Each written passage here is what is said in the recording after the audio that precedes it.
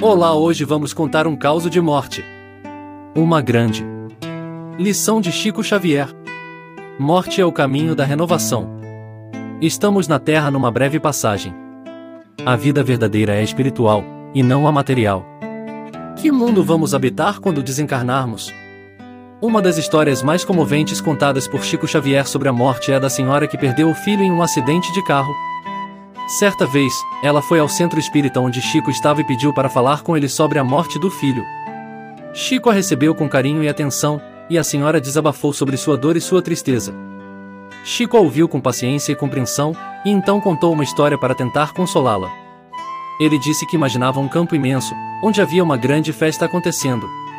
No centro do campo, havia um lindo palco, onde se apresentavam os artistas mais talentosos do mundo.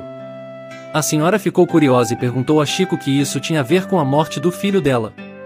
Ele respondeu que no palco estavam aqueles que haviam concluído sua missão na Terra e agora estavam livres para seguir em frente, enquanto que no campo estavam aqueles que ainda tinham uma missão a cumprir. Chico explicou que seu filho havia concluído sua missão na Terra e agora estava no palco, realizando grandes feitos e sendo muito feliz.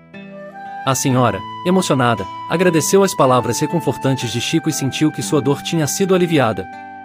Essa história mostra que a morte não é o fim, mas sim o início de uma nova jornada. Para Chico Xavier, a vida após a morte é uma continuação da vida na Terra, onde cada um tem a chance de continuar sua evolução espiritual e cumprir sua missão no universo.